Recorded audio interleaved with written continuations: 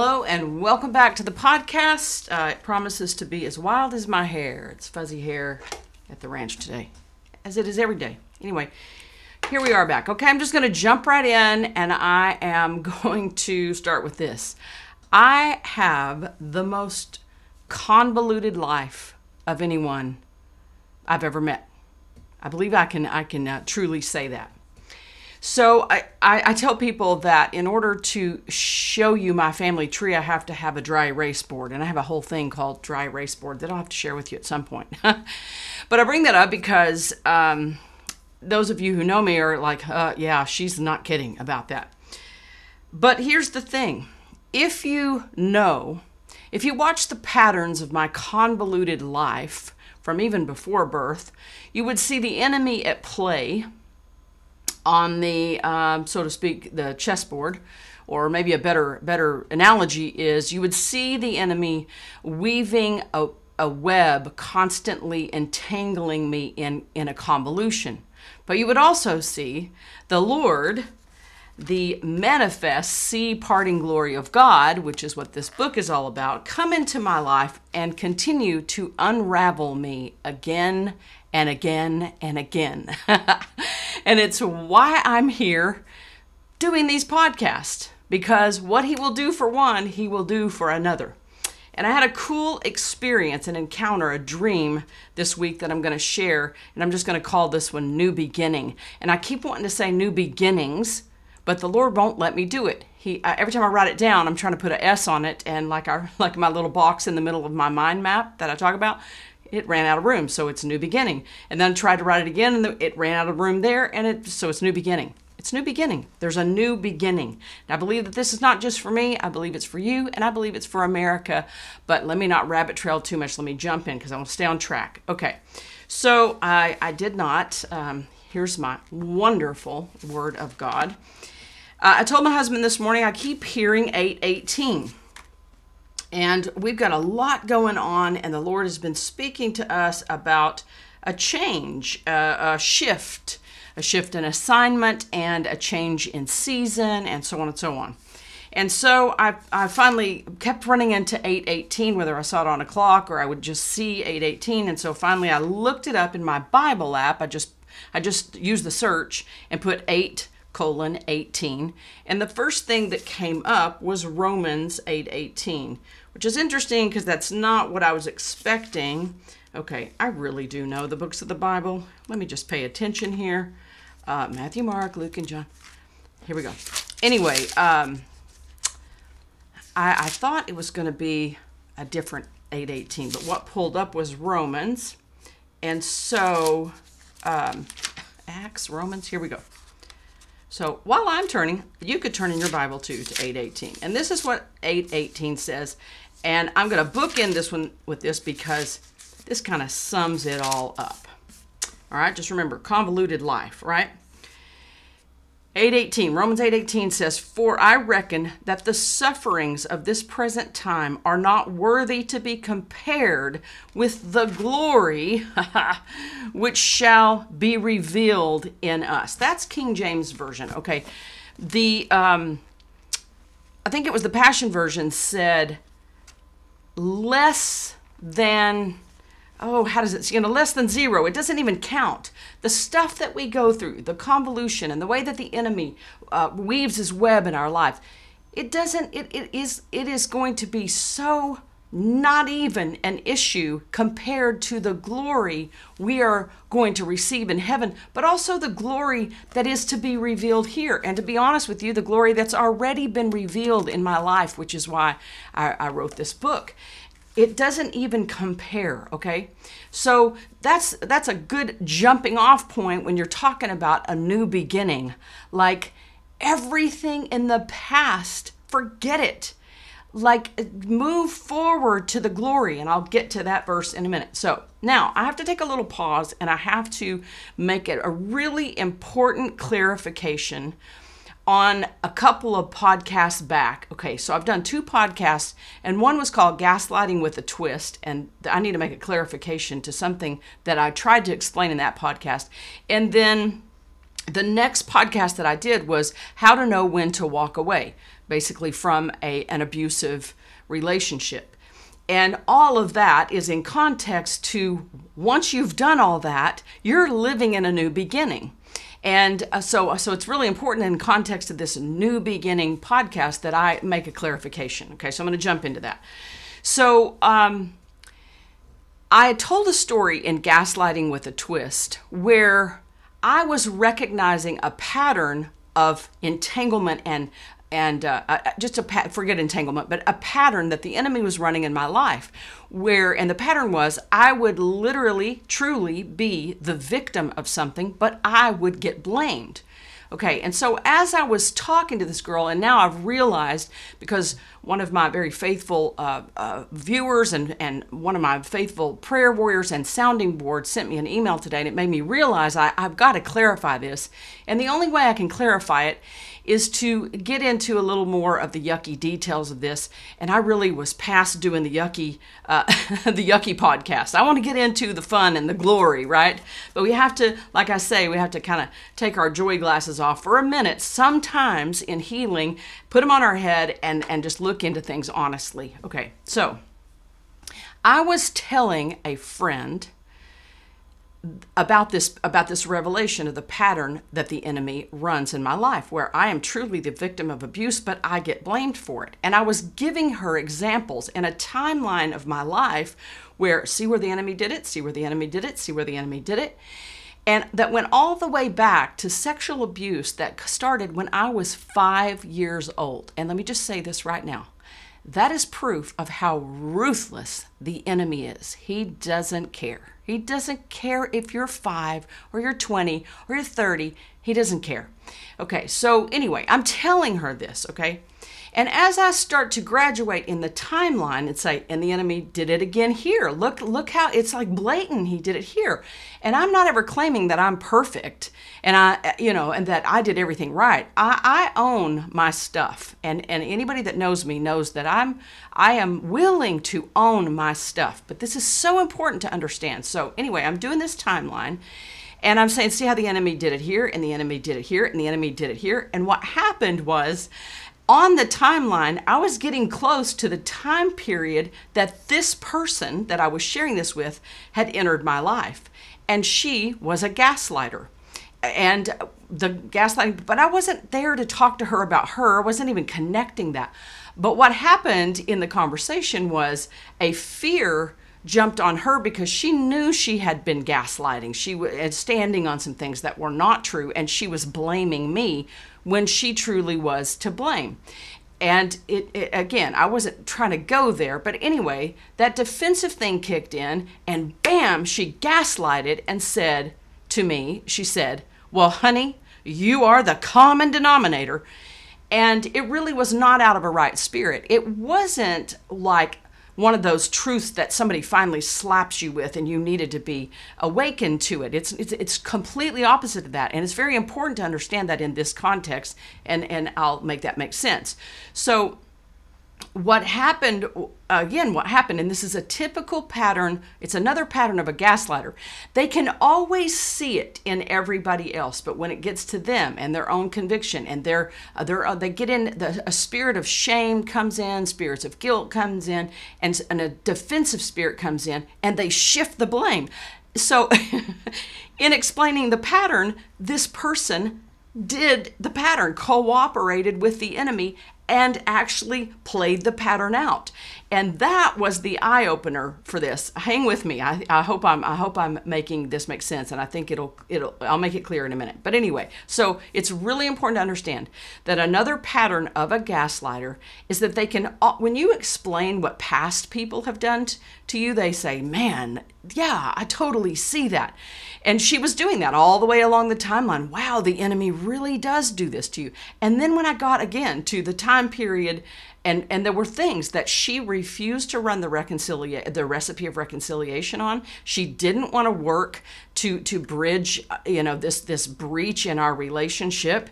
And that had been a long long running issue. So anyway in that moment she jumped to the enemy's side so to speak and she gaslighted. Now the reason that this was important and this has got to be so clear the lord when i got off the phone uh, when she said you are the common denominator. I got off the phone and I knew, and even the Lord said, You know that that was, you know, the history with this person, and you know that was gaslighting, and you know that wasn't the right spirit. And so it's not like the favor where somebody's finally really honest with you.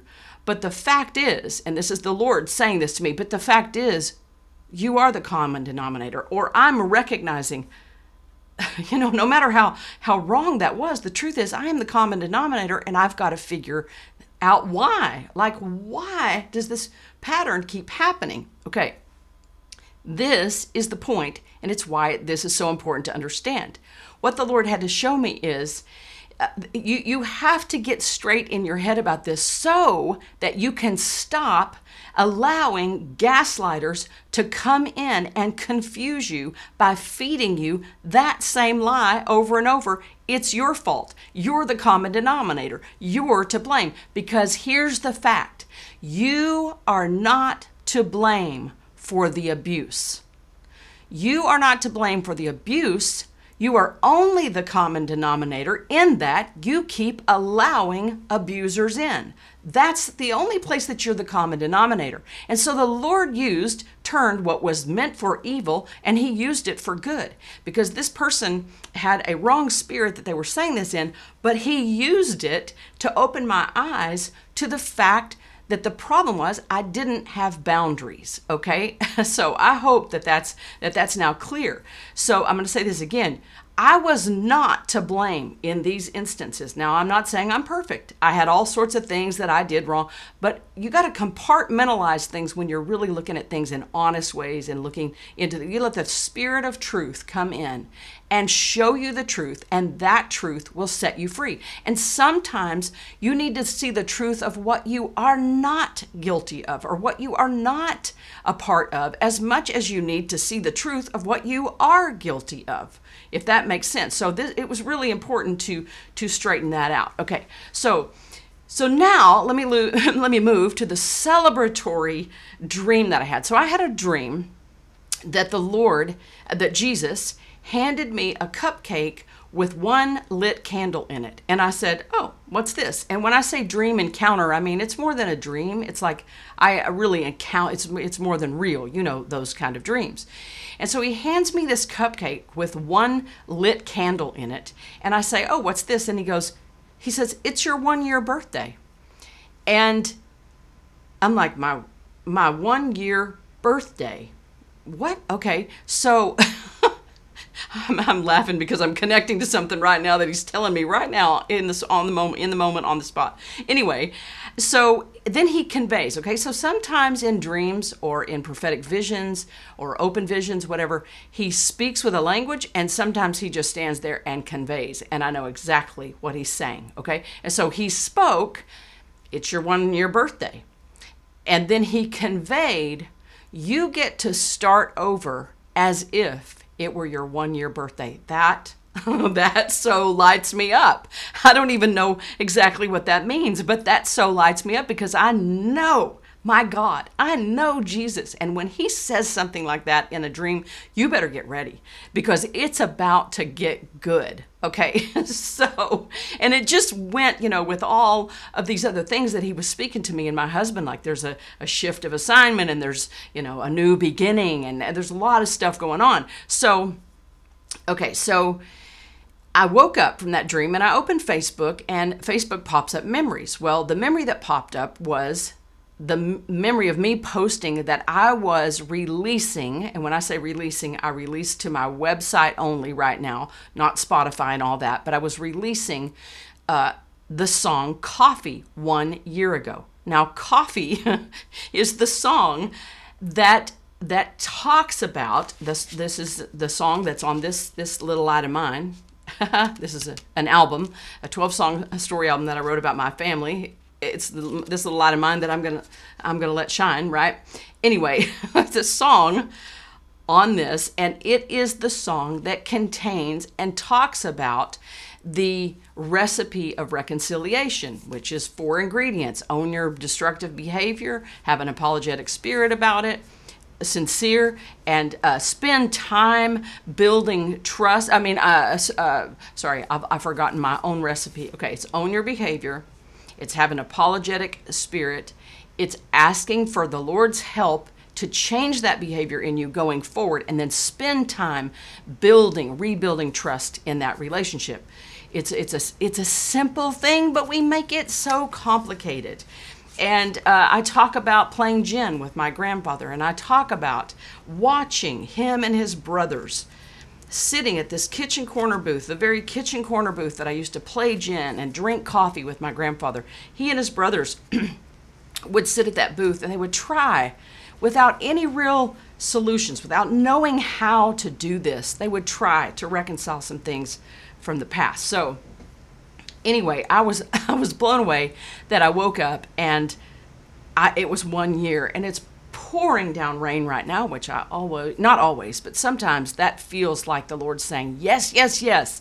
I am pouring out." Okay. So, let me let me talk about let me go to the next thing. So, last week I talked about uh, about circles, Danny Silk circles, and if you can envision, and I'll put a picture up again. Uh, if you can envision a, a, a target, you begin to ask the Lord in your new beginnings. You begin to ask the Lord when you when you when you've decided, okay, I have to walk away. And by the way, that relationship with that person uh, who said the thing about the common denominator, I had to realize that this is not a true friend and uh, and I have walked away from that relationship. And it doesn't mean that when you walk away from a relationship you're forever separated. Maybe it's just some time. But anyway, so envision a target and envision yourself in the middle, in the bullseye, and that space right there is for you and God only. And then this, the next band out is if you have a spouse, it's for your spouse. If you don't, maybe it's your best friend. And then in the next one is maybe your mother, maybe your sisters, maybe your best friends. And the next one is maybe a cousin that you love, you haven't talked to, and so on and so on. So I call that circles, okay? So you so what happens when you use circles to ask the Lord, Lord, who who in these circles do I need in my life and who do I need to have boundaries with? And I, it, I'm obligated to understand that I need to have boundaries because I'm an unhealthy person if I have all that dysfunction in my life, right? So, but here's the beautiful thing in the new beginning. What happens is that the Lord, as, as you begin to pray, how do I need to move the move these relationships around, put some distance and some limits in these relationships so that everybody can return to health in this and and and then be able to return to love. How who how does this what does it need to look like then the lord begins to orchestrate healings and relationships and now that person is healed and they used to be in the fourth uh, fourth circle and now they're in the second or he brings new people in in your new beginnings. And now he fills it with people that are truly about walking in love, returning to love, meaning, you know, returning to God and walking in Christ and and being functional uh, loving people. Okay, so that that's a huge celebratory thing. Now, I want to take this to a national level because I always want to do that when I'm doing these podcasts and and this album and this book and everything I'm doing has has has a double meaning has a micro and a macro. And it is in your personal family relationships specifically your personal i mean your family relationships and on a national the family of america. Think about the family of america for a minute as i say this. Okay and i'm going to share the song at the end of this at the end of this podcast. And and it's a lyric a video so you can sit and listen to the lyrics. And i want to just say this. If families in america would truly run the recipe of reconciliation that is that i sing about in the song coffee if all families would decide that we're obligated to each other to do this we would not have shootings I, am just telling you, we we have become an unloving, hate-filled people in this nation.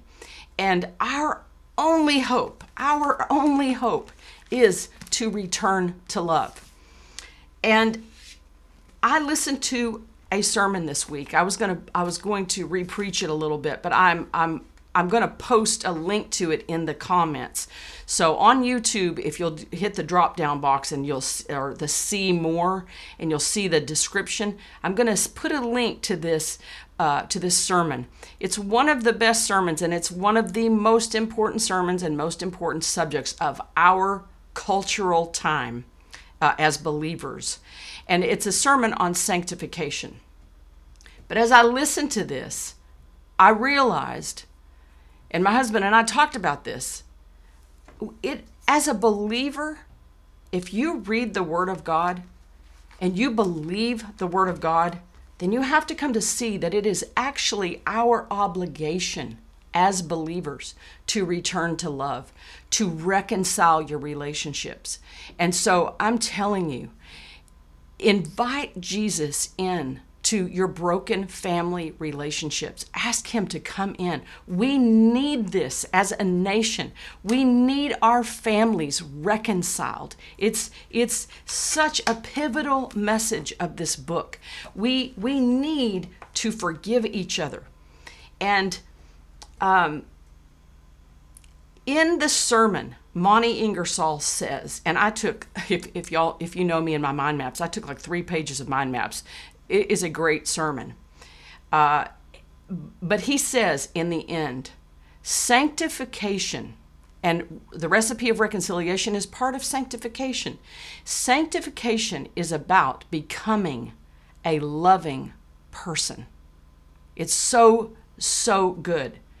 And so that's that's really my return to love moment of this podcast is recognize that if you believe the word and you listen to that sermon and he's, he lays it out out of the word of god you're going to come to see that we are actually obligated to each other as believers to be sanctified and to return to love in all the ways that that we're talking about here.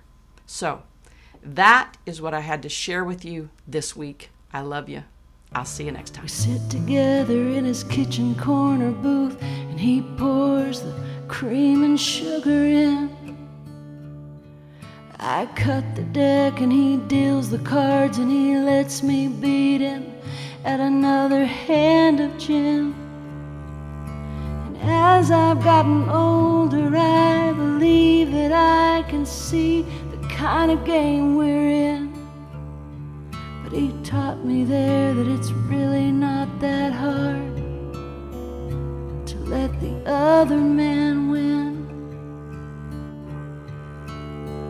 Just say I own this and I'm sorry, and I won't ever walk this way again. Say let's start over and let me show that I really can be trusted like a friend.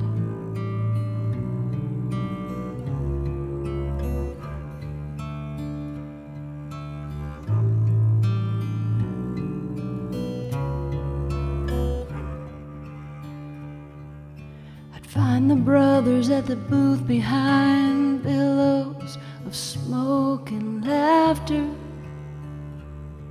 They'd always leave without the thing they'd all come chasing after. Cause cup after cup he kept pouring out, but I never once heard it all find an end. They'd drink that coffee down and then they'd shuffle. And they just play the game again.